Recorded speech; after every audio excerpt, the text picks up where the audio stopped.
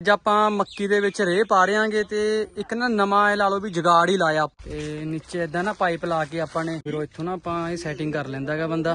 ਤੇ ਇੰਨਾ ਇੰਨਾ ਰੇਹ ਪਈ ਜਾਂਦਾਗਾ ਇਹ।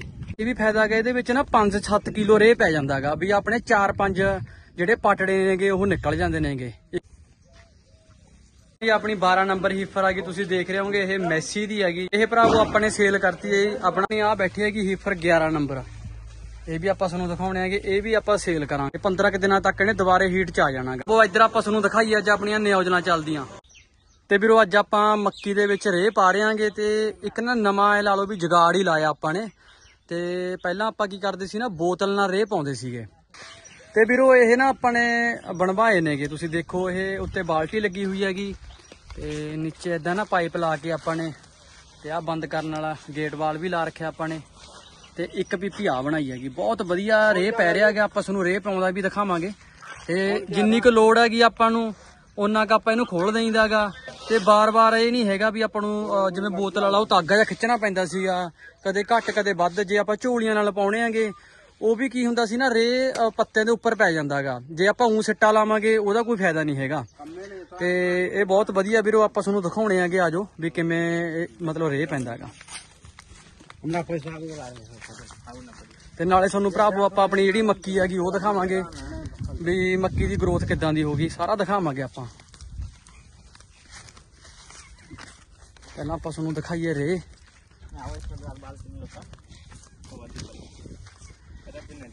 ਲੈ ਵੀ ਚਲੋ ਕਰੋ ਸ਼ੁਰੂ।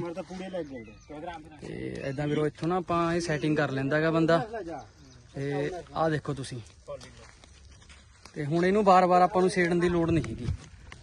ਤੇ ਇੰਨਾ ਇੰਨਾ ਰੇ ਪਈ ਜਾਂਦਾ ਗਾ ਇਹ ਪ੍ਰੋਪਰ ਤਰੀਕੇ ਨਾਲ।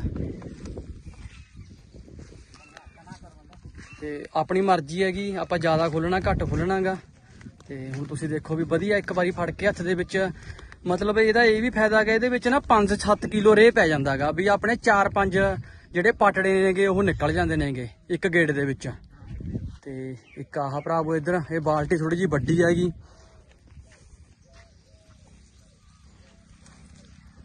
ਇਹ ਵੀ ਜਾ ਰਿਹਾ ਹੈਗਾ। ਨਾਲੇ ਚੰਗਾ ਰੇ ਪੈ ਜਾਂਦਾ ਇਹਦੇ ਵਿੱਚ। ਆ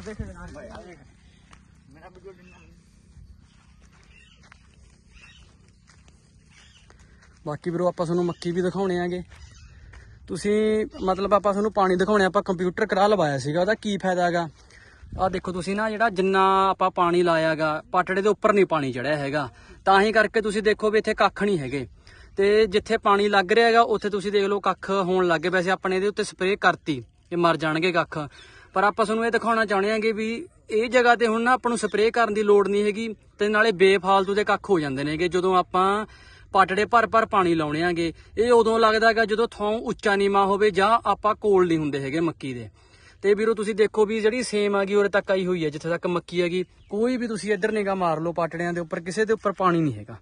ਇਹਦਾ ਫਾਇਦਾ ਇਹ ਹੋ ਗਿਆ ਵੀ ਇਹਦੇ ਉੱਪਰ ਕੱਖ ਨਹੀਂ ਹੈਗੇ ਆਪਣੇ। ਇਹ ਕੱਖਾਂ ਨਾਲ ਗਰੋਥ ਵੀ ਦੇਖੋ ਮੱਕੀ ਦੀ ਰੁਕਦੀ ਹੈਗੀ ਤੇ ਆਪਾਂ ਨੂੰ ਸਪਰੇਹਾਂ ਵੀ ਵੱਧ ਕਰਨੀਆਂ ਪੈਂਦੀਆਂ ਨੇਗੀਆਂ। ਹੁਣ ਤੁਸੀਂ ਜਿੱਥੇ ਵੀ ਨਿਗਾ ਮਾਰੋਗੇ ਸਾੜੇ ਉੱਪਰੋਂ ਮਤਲਬ ਸੁੱਕੇ ਪਏ ਨੇਗੇ ਤੇ ਇਹਦੀ ਵੀਰੋ ਹੁਣ ਕੀ ਹੈਗਾ, ਇਹ ਮੱਕੀ ਦੀ ਗਰੋਥ ਹੈ ਜਿਹੜੀ ਹੁਣ ਤੁਸੀਂ ਦੇਖੋ ਵੀ ਵਧੀਆ ਹੋ ਗਈ ਤੇ ਪਾਣੀ ਲਾ ਦਾਂਗੇ ਆਪਾਂ ਇਹਨੂੰ, ਉਸ ਤੋਂ ਬਾਅਦ ਨਾਲ ਦੀ ਨਾਲ ਫੇਰ ਰੇਹ ਪਾ ਦਾਂਗੇ, ਇਹਦੀ ਗਰੋਥ ਉੱਪਰ ਲੰਘ ਜੂਗੀ, ਫਿਰ ਉਸ ਤੋਂ ਬਾਅਦ ਜਿਹੜੇ ਕੱਖ ਨੇ ਉਹ ਦਬ ਜਾਂਦੇ ਨੇਗੇ। ਫਿਰ ਉਹ ਉਨੀ ਇਹਨਾਂ ਦੀ ਗਰੋਥ ਨਹੀਂ ਬਣਦੀ ਹੈਗੀ, ਮਾੜੇ ਮੋਟੇ ਜਿਹੜੇ ਰਹਿ ਜਾਣਗੇ ਉਹ ਦਬ ਜਾਣਗੇ। ਹੁਣ ਇਹਦੇ ਉੱਤੇ ਆਪਾਂ ਇੱਕ ਸਪਰੇਅ ਹੋਰ ਕਰਨੀ ਹੈਗੀ। ਤੇ ਜਿਹੜੇ ਆ ਬੇਫਾਲਤੂ ਦੇ ਕੱਖ ਜਿਹਨੇ ਮਤਲਬ ਦੋ ਤਰ੍ਹਾਂ ਨਾਲ ਸਪਰੇਅ ਕਰੀ ਆਪਾਂ ਨੇ। ਇੱਕ ਜਿਹੜੀ ਆਹ ਮਤਲਬ ਜਿਹੜਾ ਤੁਸੀਂ ਦੇਖ ਰਹੇ ਹੋਗੇ, ਇਹ ਥੋੜਾ ਜਿਹਾ ਆਪਣੇ ਨਾ ਉਧਰ ਖੱਤੇ ਦੇ ਵਿੱਚ ਜ਼ਿਆਦੇ ਆਗਾ ਪਹਿਲਾਂ ਆਪਾਂ ਇਸ ਚੀਜ਼ ਦੀ ਸਪਰੇਅ ਕਰੀ ਆ ਕੱਲੇ ਦੀ। ਤੇ ਹੁਣ ਜਿਹੜੇ ਆ ਛੋਟੇ ਕੱਖ ਨੇਗੇ, ਇਹਨਾਂ ਦੀ ਹਜੇ ਆਪਾਂ ਕੀਤੀ ਨਹੀਂ ਹੈਗੀ। ਇਹਦੀ ਆਪਾਂ ਹੁਣ ਸਪਰੇਅ ਕਰਾਂਗੇ। ਤੇ ਉਹ ਵੀ ਆਪਾਂ ਤੁਹਾਨੂੰ ਦਿਖਾ ਦਾਂਗੇ ਵੀ ਆਪਾਂ ਕਿਹੜੀ ਕੰਪਨੀ ਦੀ ਸਪਰੇਅ ਕਰਾਂਗੇ। ਤੇ ਅੱਜ ਭਰਾਵੋ ਤੁਹਾਨੂੰ ਦਿਖਾਈਏ 1844 ਆ ਜਿਹੜੀ ਸਾਰੀ ਇਹ ਮੱਕੀ ਲਾਈ ਹੋਈ ਆ ਖੇਤ ਦੇ ਵਿੱਚ ਆਪਾਂ ਨੇ। ਤੇ ਵੀਰੋ ਅੱਜ ਆਪਾਂ ਜਿਹੜੀਆਂ ਆਪਣੀਆਂ ਹੀਫਰਾਂ ਨੇਗੀਆਂ ਤੇ ਕਾਫ ਬੱਚੇ ਨੇ ਸਾਰੇ ਨਮਾਤੇ। ਤੇ ਇਹ ਜਿਹੜੀ ਆਪਣੀ 12 ਨੰਬਰ ਹੀਫਰ ਗਈ, ਤੁਸੀਂ ਦੇਖ ਰਹੇ ਹੋਗੇ ਇਹ ਮੈਸੀ ਦੀ ਹੈਗੀ, ਜਿਹੜਾ ਪੀਡੀਐਫ ਤੋਂ ਸਿਮਣ ਆਉਂਦਾ ਸੀਗਾ। ਤੇ ਹੁਣ ਤਾਂ ਇਹ ਬੰਦ ਹੋ ਗਿਆ। ਇਹ ਭਰਾਵੋ ਆਪਾਂ ਨੇ ਸੇਲ ਕਰਤੀ ਹੈ, ਆਪਣਾ ਵਧੀਆ ਜਾਰ ਬੇਲੀ ਹੈਗਾ ਤੇ ਉਹ ਕਹਿੰਦਾ ਵੀ ਮੈਨੂੰ ਇੱਕ ਬਾਈਟ ਜਿਹੜੀ ਹੀਫਰ ਗਈ ਚਾਹੀਦੀ ਹੈਗੀ ਤੇ ਵੀਰੋ, ਮਤਲਬ ਉਹਨੇ ਫਿਰ ਇਹ ਜਿਹੜੀ ਮੈਸੀ ਦੀ ਹੈਗੀ, ਇਹ ਆਪਾਂ ਉਹਨੂੰ ਦਿੱਤੀ ਹੈਗੀ। ਤੇ ਵੀਰੋ ਇਹ ਪ੍ਰੈਗਨੈਂਟ ਵੀ ਹੈਗੀ ਹੈਗੀ ਅਰਮਾਡਾ ਆਪਣਾ ਅਰਮਾਡਾ ਨਹੀਂ ਸੌਰੀ ਅਮਰਪਾਲ ਦੇ ਨਾਲ। 2 ਮਹੀਨਿਆਂ ਦੀ ਪ੍ਰੈਗਨੈਂਟ ਹੈਗੀ ਹੈ ਤੇ ਇਹ ਆਪਾਂ ਚੈੱਕ ਵੀ ਕਰਵਾ ਲਈ ਇਹ ਚੈੱਕ ਪਾਸ ਆ ਗਈ।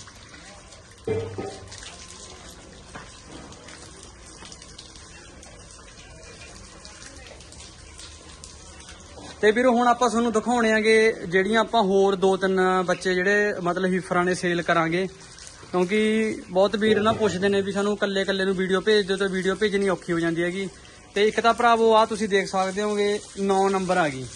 ਇਹਦੇ ਆਪਣੇ ਅਰਮਾਡਾ ਦਾ ਸਿਮਨ ਲੱਗਿਆ ਹੋਇਆ ਹੈਗਾ, ਇਹ ਵੀ ਪ੍ਰੈਗਨੈਂਟ ਹੈਗੀ 2 ਮਹੀਨਿਆਂ ਦੀ।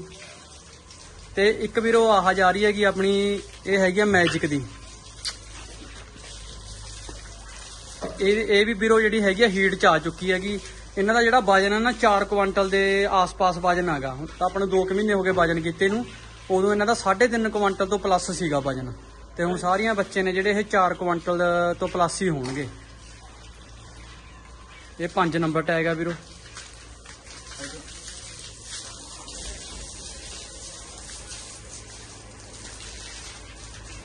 ਤੇ ਭਰਾਵੋ ਇੱਕ ਆਪਾਂ ਤੁਹਾਨੂੰ ਹੋਰ ਦਿਖਾਉਣੇ ਆਗੇ ਜਿਹੜੀ ਆਪਾਂ ਸੇਲ ਕਰਾਂਗੇ। ਤੇ ਇੱਕ ਵੀਰੋ, ਆਪਣੇ ਆ ਜਿਹੜੀ ਆਪਣੀ ਕਾ- ਕਾਫ ਬੱਚਾ ਹੈਗਾ 15 ਨੰਬਰ ਹੈਗਾ, ਇਹ ਵੀ ਆਪਾਂ ਨੇ ਸੇਲ ਕਰਤਾ। ਇਹ 15 ਨੰਬਰ ਵੀ ਆਪਾਂ ਨੇ ਸੇਲ ਕਰਤਾ। ਤੇ ਵੀਰੋ, ਇੱਕ ਜਿਹੜੀ ਆਪਣੀ ਆ ਬੈਠੀ ਹੈਗੀ, ਹੀਫਰ 11 ਨੰਬਰ। ਇਹ ਵੀ ਆਪਾਂ ਤੁਹਾਨੂੰ ਦਿਖਾਉਣੇ ਹੈਗੇ, ਇਹ ਵੀ ਆਪਾਂ ਸੇਲ ਕਰਾਂਗੇ। ਇਹ ਵੀ ਵੀਰੋ ਹੀਟ ਚ ਆ ਚੁੱਕੀ ਹੈਗੀ। ਤੇ ਆਪਾਂ ਟੀਕਾ ਤੇ ਭਰਵਾਇਆ ਨਹੀਂ ਹੈਗਾ ਕਿਉਂਕਿ ਜਦੋਂ ਹੀਟ ਚ ਇਹ ਲੰਘ ਗਈ ਸੀ ਬਲੱਡ ਆ ਗਿਆ ਸੀਗਾ ਜਦੋਂ ਆਪਾਂ ਨੂੰ ਪਤਾ ਲੱਗਿਆ। ਤੇ ਆਪਾਂ ਨੇ ਹੁਣ ਇਹਦੀ ਡੇਟ ਆ ਜਿਹੜੀ ਨੋਟ ਕਰ ਲਈ, ਤੇ 15 ਕੁ ਦਿਨਾਂ ਤੱਕ ਇਹਨੇ ਦੁਬਾਰੇ ਹੀਟ ਚ ਆ ਜਾਣਾਗਾ। ਹੁਣ 5-7 ਦਿਨ ਹੋ ਗਏ ਹੀਟ ਲੰਗੀ ਨੂੰ, ਤੇ ਵੀਰੋ ਉਦੋਂ ਆਪਾਂ ਇਹਦੇ ਸਿਮਨ ਰਖਵਾ ਦਾਂਗੇ। ਇਹ ਭਰਾਵੋ ਹੈਗੀ ਆ 11 ਨੰਬਰ, ਤੁਸੀਂ ਦੇਖ ਸਕਦੇ ਹੋਗੇ। ਕਿਉਂਕਿ ਵੀਰੋ ਆਪਣੇ ਕੋਲ ਬੱਚੇ ਬਹੁਤ ਜ਼ਿਆਦੇ ਨੇਗੇ ਆ ਸਾਰੇ ਆਪਣੇ ਇਹ ਕਾਫ ਬੱਚੇ ਨੇ ਫੀਮੇਲ ਨੇ, ਸਾਰੇ ਜਿਹੜੇ ਬੈਠੇ ਨੇਗੇ, ਇਹ ਆਪਾਂ ਰੱਖਾਂਗੇ। ਤੇ ਤਿੰਨ ਵੀਰੋ ਉਧਰ ਆਪਣੇ ਵੱਡੇ ਫਾਰਮ ਦੇ ਵਿੱਚ ਬੰਨ ਰੱਖੇ ਨੇਗੇ। ਤੇ ਬਾਕੀ ਵੀਰੋ ਆ 14 ਨੰਬਰ ਆ ਪਾਈਪਰ ਦਾਗਾ ਬੱਚਾ। ਤੁਸੀਂ ਦੇਖ ਸਕਦੇ ਹੋਗੇ।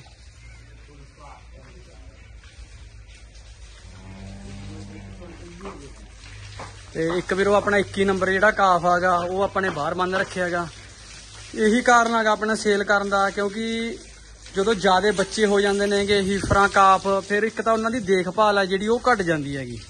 ਤੇ ਦੂਜਾ ਵੀਰੋ, ਜੇ ਹੁਣ ਆਪਾਂ ਛੋਟੇ ਬੱਚੇ ਉਰੇ ਲਿਆਵਾਂਗੇ, ਫਿਰ ਇਹ ਵੱਡੀਆਂ ਉਹਨਾਂ ਨੂੰ ਮਾਰਦੀਆਂ ਨੇਗੀਆਂ। ਤਾਂ ਕਰਕੇ ਕੀ ਆ, ਹੁਣ ਆਪਣੇ ਕੋਲ ਕਰਾਊਡ ਜ਼ਿਆਦੇ ਹੋ ਗਿਆ, ਬੱਚੇ ਜ਼ਿਆਦੇ ਹੋ ਰਹੇ ਨੇਗੇ। ਤੇ ਤਿੰਨ ਬੱਚੇ ਆਪਣੇ ਉਧਰ ਵੀ ਫਾਰਮ ਦੇ ਵਿੱਚ ਨੇਗੇ, ਜਿਹੜਾ ਵੱਡਾ ਫਾਰਮ ਆ, ਉਧਰ ਬੰਨੇ ਹੋਏ ਨੇਗੇ। ਫਿਰ ਵੀਰੋ ਉਹਦੀ ਦੇਖਭਾਲ ਆ ਜਿਹੜੀ ਹੁੰਦੀ ਨਹੀਂ ਹੈਗੀ, ਤੇ ਖਰਚਾ ਜਿਹੜਾ ਜ਼ਿਆਦੇ ਵੱਧ ਜਾਂਦਾਗਾ ਤਾਂ ਕਰਕੇ ਆਪਾਂ 4-5 ਹੁਣ ਸੇਲ ਕਰਾਂਗੇ। ਤੇ ਜਿਹਦੇ ਵਿੱਚੋਂ ਵੀਰੋ, ਦੋ ਤਾਂ ਆਪਾਂ ਨੇ ਸੇਲ ਕਰਤੇ ਬੱਚੇ, ਤੇ ਦੋ ਤਿੰਨ ਆਪਾਂ ਹੋਰ ਕਰ ਦਾਂਗੇ।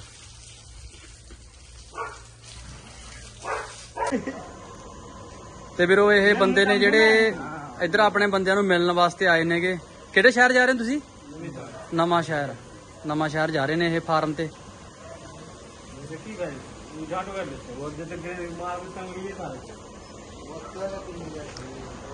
ਤੇ ਭਰਾਵੋ ਇੱਧਰ ਆਪਾਂ ਤੁਹਾਨੂੰ ਦਿਖਾਈ ਅੱਜ ਆਪਣੀਆਂ ਨਿਯੋਜਨਾ ਚੱਲਦੀਆਂ।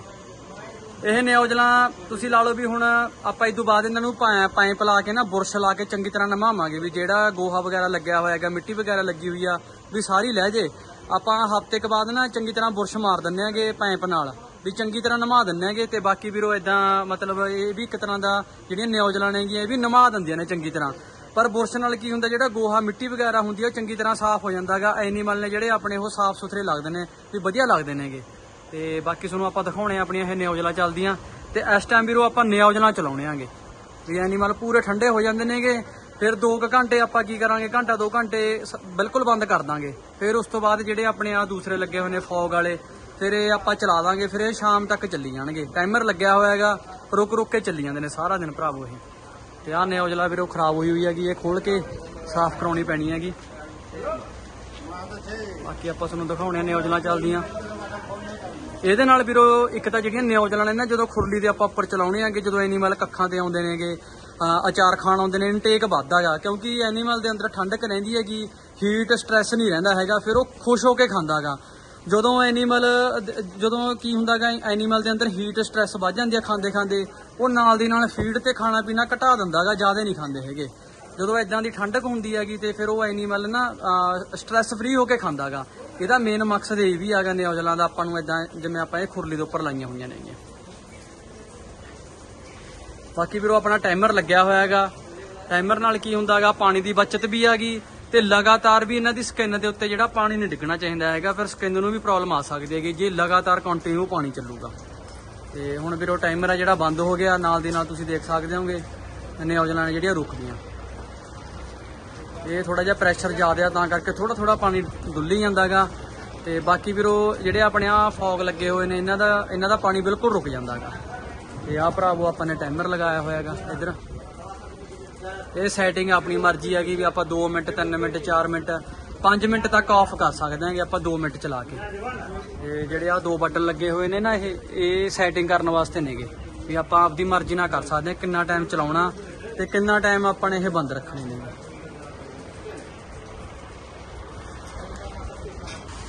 ਤੇ ਵੀਰੋ, ਹੁਣ ਆਪਾਂ ਨੇ ਜਿਹੜੀਆਂ ਨਿਊਜ਼ਲਾਂ ਸੀ, ਉਹ ਕਰਤੀਆਂ ਬੰਦ। ਤੇ ਹੁਣ ਵੀਰੋ, ਜਿਹੜੇ ਫੌਗਰ ਨੇਗੇ, ਉਹ ਆਪਣੇ ਚਲਾਤੇ। ਸਾਰਾ ਦਿਨ ਚੱਲੀ ਜਾਣਗੇ। ਟਾਈਮਰ ਇਹਨਾਂ ਦੇ ਉੱਪਰ ਲੱਗਿਆ ਹੋਇਆਗਾ। ਆਪਾਂ ਟਾਈਮਰ ਸੈਟਿੰਗ ਕੀਤੀ ਹੋਈ ਆ ਵੀ 2 ਮਿੰਟ ਚੱਲਦੇ ਨੇ 2 ਮਿੰਟ ਇਹ ਬੰਦ ਹੋ ਜਾਂਦੇ ਨੇਗੇ। ਤੇ ਹੁਣ ਇਹ ਸਾਰਾ ਦਿਨ ਚੱਲੀ ਜਾਣਗੇ। ਤੇ ਤੁਸੀਂ ਦੇਖ ਸਕਦੇ ਹੋਗੇ ਬਾਕੀ।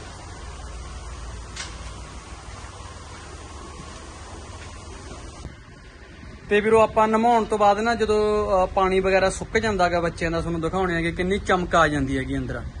ਤੇ ਪਹਿਲਾਂ ਗੋਹਾ, ਮਿੱਟੀ ਵਗੈਰਾ ਲੱਗੀ ਪਈ ਸੀ, ਜਿਵੇਂ ਤੂੜੀ ਕਰਦੇ ਸੀਗੇ, ਉਹਦੇ ਨਾਲ ਸਕਿਨ ਸੀ, ਜਿਹੜੀ ਖਰਾਬ ਹੋਈ ਪਈ ਸੀਗੀ। ਤੇ ਭਰਾਵੋ, ਅੱਜ ਨਮਾਉਣ ਦੇ ਨਾਲ ਨਾ ਤੁਸੀਂ ਦੇਖ ਸਕਦੇ ਹੋਗੇ ਵੀ ਕਾਫ ਤੇ ਆਪਣੀ ਹਿਫਰਾਂ ਦੀ ਚਮਕ ਕਿੰਨੀ ਆ ਚੁੱਕੀ ਹੈਗੀ।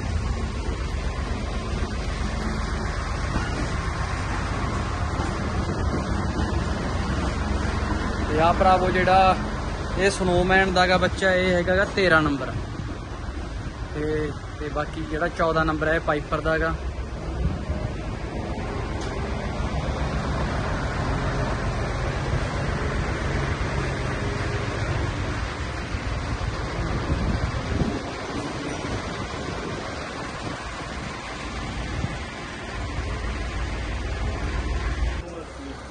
ਤੇ ਵੀਰੋ, ਵੀਡੀਓ ਕਿੱਦਾਂ ਦੀ ਲੱਗੀ ਕਮੈਂਟ ਕਰਕੇ ਜਰੂਰ ਦੱਸਿਓ ਤੇ ਆਪਣੀ ਵੀਡੀਓ ਨੂੰ ਵੱਧ ਤੋਂ ਵੱਧ ਸ਼ੇਅਰ ਵੀ ਕਰਿਆ ਕਰੋ।